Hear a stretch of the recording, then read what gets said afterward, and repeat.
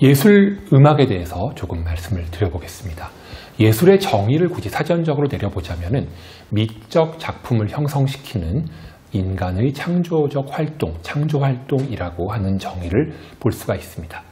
최근엔 약간 달라졌을지 모르겠습니다만 1984년에 나온 영어 사전에는 Human Creativity라고 정의되어 있습니다.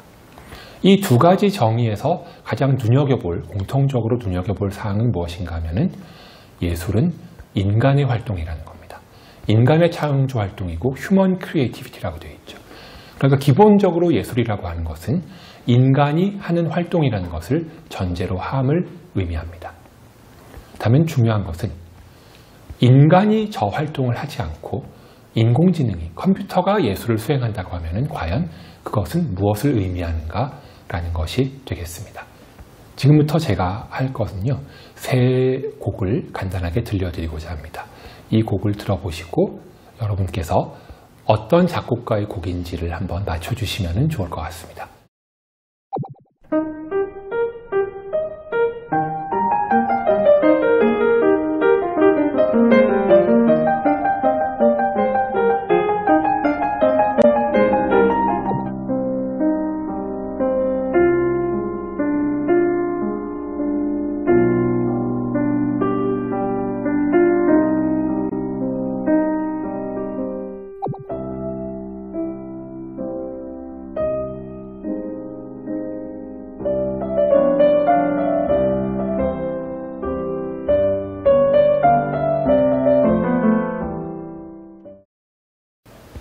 어떠셨나요? 어, 아마 머리에 떠오른 작곡가가 분명히 있으실 것 같습니다. 첫 번째 곡은 아마도 마크를 생각하셨을 수 있겠고,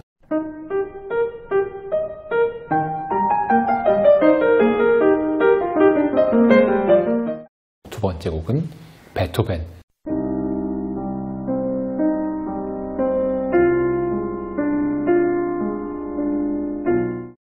세 번째 곡을 듣고 쇼팽을 떠올리셨다면 여러분들은 굉장히 클래식 음악에 깊은 소양이 있으실 것 같은데요.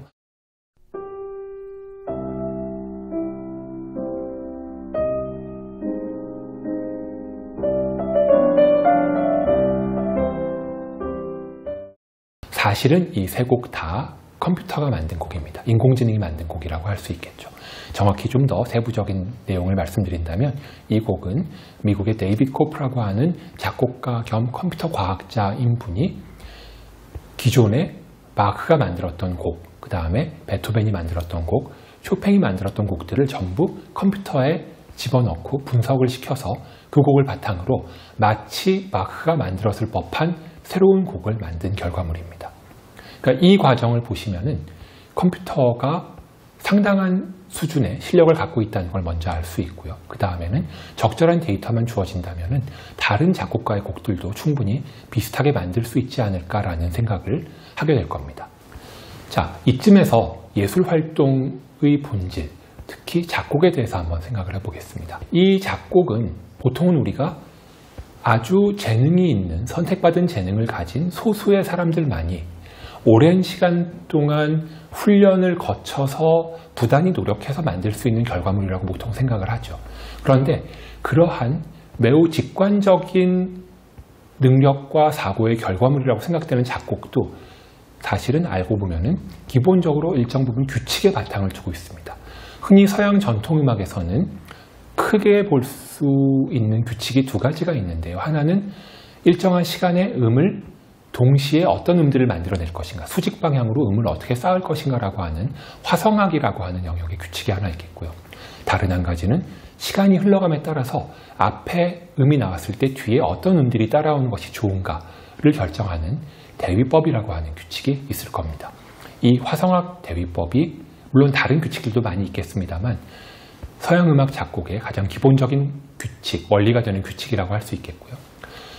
작곡이 아무리 창의적인 행위라고 하더라도 일정한 범위 안에 있어서는 작곡가들은 이 규칙을 따라서 곡을 만들어야 됩니다. 말씀드리고자 하는 바는 우리가 정말 천재들이 직관과 영감에 의해서 만든 결과물이라고 생각하는 것들도 사실 알고 보면 상당 부분은 규칙의 바탕을 두고 있다는 거죠. 그리고 무엇이 규칙이 있다고 한다면, 어떤 행동에 규칙이 있다고 한다면, 일정 부분은 그것을 컴퓨터로 재현하는 것도 가능하지 않겠는가라는 생각을 충분히 해볼 수 있다는 겁니다. 여기서 중요한 것은 저런 작업이 컴퓨터로 가능하다면, 그리고 우리가 저런 예술 창작을 창의적인 작업이라고 생각하고 창의성이 필요한 일이라고 생각한다면, 과연 이 시점에서부터 창의성이라고 하는 것을, 예술 창작이라고 하는 것을 어떻게 정의할 수 있겠는가를 한번 생각해 보면 좋을 것 같습니다. 그 다음 사례는 어, 최근에 많이 알려지고 인기가 있었던 The Next Rembrandt라고 하는 프로젝트입니다. 네덜란드에서 했던 프로젝트인데요. 이것은 렘브란트라고 하는 화가가 화가가 평생 그린 그림들을 전부 다 컴퓨터로 분석을 해서 그것들을 바탕으로 역시 렘브란트가 그렸을 법한 새로운 그림을 만든 결과물이죠. 이때 그 학습이라고 하는 개념이 등장합니다. 그러니까 렘브란트의 그림들을 통계적으로 분석한다고 했는데 분석한다고 하는 것을 최근에는 최근의 개념으로는 컴퓨터에게 학습을 시킨다고 말을 하고요. 컴퓨터가 그 그림들을 어떻게 학습하는가 하는 알고리즘의 연구가 매우 중요한 요소가 되고 있습니다. 그 중에 가장 각광받는 것 중에 하나가 최근엔 deep learning이라고 하는 아마도 들어보셨을 것 같은데 그러니까 컴퓨터를 학습시키는 과정에 있어서 deep learning이라고 하는 특정한 알고리즘을 써서 컴퓨터가 그림의 특징을 매우 잘 뽑아내서 자신이 비슷한 그림을 그릴 수 있도록 준비를 시키는 거죠. 그렇게 많은 그림들을 학습시킨 다음에 컴퓨터에게 정보를 주는 겁니다. 이를테면 뭐 40대 남성이 있는 주인공인 모자를 쓴 40대 남성이 주인공인 렘브란트의 그림을 렘브란트와 비슷한 그림을 그려보라 라고 하면은 오른편과 같은 결과물이 나오게 되는 겁니다. 여기서 또 한 가지 중요하게 말씀드리고 싶은 것은 최근의 인공지능 연구의 패러다임이 바뀌어가고 있다는 것입니다. 기존에는 좋은 규칙을 잘 만들어서 넣어주는 식이었는데 이제는 그것보다는 방대한 양의 데이터를 넣어주면 컴퓨터가 그것을 가지고 스스로 분석을 하고 혹은 스스로 그것을 학습하고 익혀서 새로운 결과물을 만들어내기 시작한다는 거죠. 어, 지금 화면에 그림이 두 개가 나오고 있습니다. 이 그림 두 개의 관계가 어떻게 되는지 혹시 짐작이 되시나요? 아마 눈썰미가 좀 좋은 분들은 눈치채셨을 것 같습니다만 아래쪽에 있는 그림의 일부분이 확대가 되어서 위에 나와 있습니다. 저 노란색 사각형으로 표시된 부분이 사실 위에 나온 영역이죠. 확대해서 보여주는 겁니다. 문제는 이 확대하는 작업을 컴퓨터가 했다는 겁니다. 사연을 설명드리자면 아래쪽에 나와 있는 그림은 사실은 우리가 여행지에 가서 많이 찍을 법한 파노라마 사진이죠. 혹은 그 지도 앱을 활용해서 지도 앱을 활용해서 길을 찾다가 어느 위치에 갔을 때 그 거리 사진, street view를 보기를 하면은 나올 수 있는 그런 풍경일 겁니다. 특징은 굉장히 넓은 면적을 가진 이미지이죠. 컴퓨터에게 저런 많은 사진들을 주고 학습을 시킵니다. 학습의 내용은 저 넓은 사진 중에서 사람들이 좋아할 법한 혹은 예술적으로 뛰어나다고 평가할 법한 부분을 스스로 골라내라는 겁니다. 그러니까 구도를 잡는 것을 컴퓨터에게 시키는 거죠. 그러면 컴퓨터가 구도를 스스로 잡아내서 일정한 부분을 잘라내서 이후에 심지어 우리가 포토샵에서 편집하는 것처럼 색상도 보정하고 필터 같은 것도 넣어서 더 이미지를 아름답게 만들어서 보여줍니다. 그렇게 만든 결과물이 위에 나와 있는 사진입니다. 사람들에게 평가를 부탁했더니 초인류의 사진사가 찍은 작품까지는 아니라고 하더라도 상당한 수준을 가진 사진사가 찍은 결과물이 아니겠는가라는 평가를 내렸다고 합니다. 여기에서 중요한 것은 이 작품이 나오는 과정에서 인간과 컴퓨터의 역할은 무엇이었는가 하는 것인데요. 조금 과장해서 표현한다면 컴퓨터가 작품 창작의 주체가 되는 것이고요. 핵심적인 역할을 담당했던 것이고 인간이 한 일은 심하게 표현하자면 나가서 데이터를 긁어 모아다가 컴퓨터에 갖다 바친 겁니다. 만약에 이러한 패러다임이 주가 된다면 인간의 역할은 나가서 자료를 모아서 컴퓨터를 학습시키고 이후에는 컴퓨터가 만들어준 결과물을 받아오는 것이 되는 거죠. 패러다임이 완전히 바뀔 수도 있는 상황이 지금 우리 앞에 펼쳐지고 있다는 겁니다. 그렇다면 이렇게 패러다임이 바뀌고 있는 시점에 우리가 이러한 사실을 어떻게 받아들이고 앞으로 예술을 어떻게 생각하고 창의성을 어떻게 정의할 것인가 라고 하는 것이 본격적으로 고민해야 될 일이 아닌가 라는 생각이 들게 됩니다. 그러한 맥락에서 몇 가지 질문을 던져보고 싶습니다. 조금 도전적일 수도 있고요. 사실은 어, 누구도 쉽게 현 시점에서 답을 하기 어려운 질문일 수도 있습니다만 예를 들면 창의성이란 과연 무엇인가라는 질문을 던져볼 수도 있겠죠. 컴퓨터 프로그램으로 손쉽게 구현할 수 있고 우리가 가지고 있는 자료를 넣어주는 것만으로도 전에 없던 결과물을 만들어내고 그 결과물에 대한 평가를 했을 때 사람들이 창의적이라고 동의를 할 수 있다면 그 창의성이라는 것은 과연 무엇인지 단순히 새로운만은 아닐 것인데 그 새로운만이 아니라고 하는 그 부분에 무엇이 들어가야 하는지 그리고 그것이 인간만의 요소가 아니고 컴퓨터로도 만들어질 수 있는 것이라면 우리는 과연 우리의 존재는 무엇인지, 우리의 의미는 무엇이고, 우리의 존재 가치는 무엇인지라는 것을 한 번쯤은 고민해 볼 만도 하죠. 그 다음에 인간은 과연 창의적인 존재인가? 라는 것도 사실은 따라서 오는 고민이 될 겁니다. 마찬가지로 컴퓨터는 창의적일 수 있는가? 이것은 앞의 질문과 다 연관되는 건데요. 창의성이라고 하는 것을 어떻게 정의하는가에 따라 가지고 컴퓨터는 너무나 창의적인 존재일 수도 있고 경우에 따라서는 인간조차도 창의적이지 않은 존재일 수도 있는 거죠. 이렇게 창의성의 근본이 의심되고 창의적이라고 할 수 있는 인공지능이 등장했다면 이 시기에 예술 창작이라고 하는 것은 본질적으로 무엇인지 그리고 인간의 역할은 과연 거기서 무엇인지 컴퓨터에게 데이터를 갖다 바치는 것으로 끝나는 것인지 아니면 뭔가 새로운 길이 우리에게 주어지는 것인지 라고 하는 사실들을 고민하지 않을 수가 없게 될 겁니다.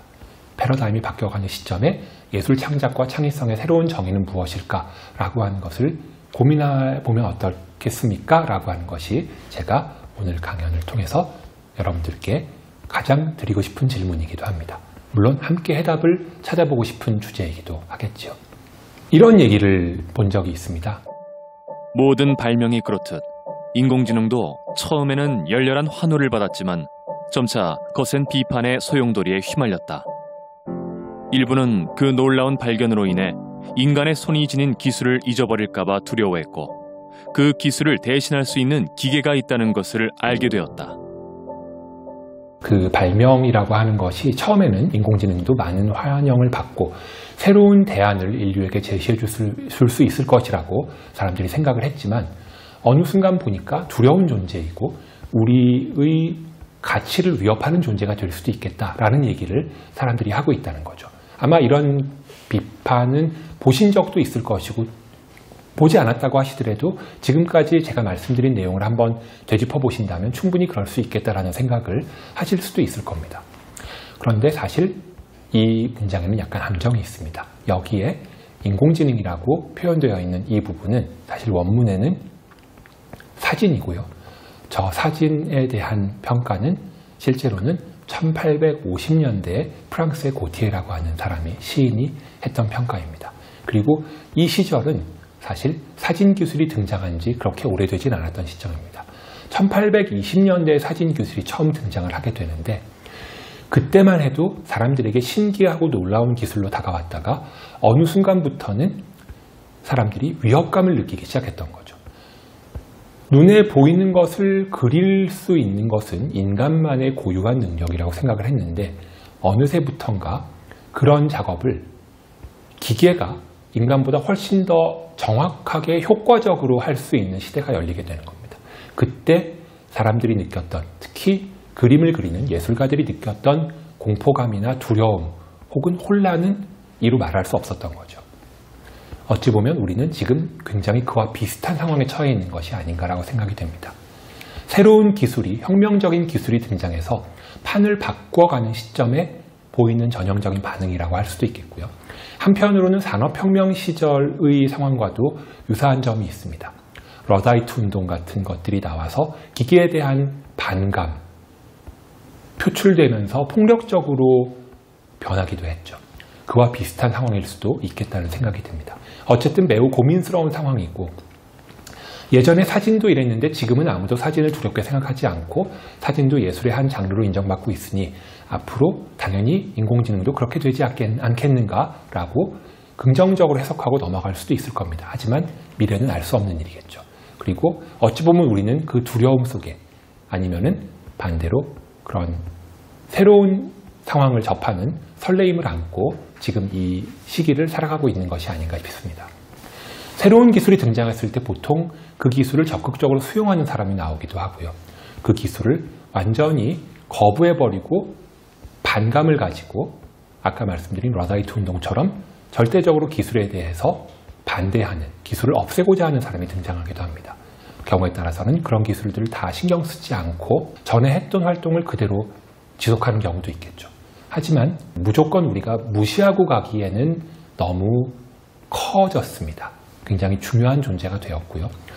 거부하는 것도 그리 쉬운 일만은 아닐 것이고 아마도 인공지능이 당연하게 받아들여지는 시대에 우리가 이것을 어떻게 해석하고 받아들이고 예술 창작이라고 하는 것도 앞으로 어떤 식으로 새롭게 판을 짜고 만들어 나가야 될지를 한번 좀 고민해 보시면 어떨까라는 생각이 됩니다.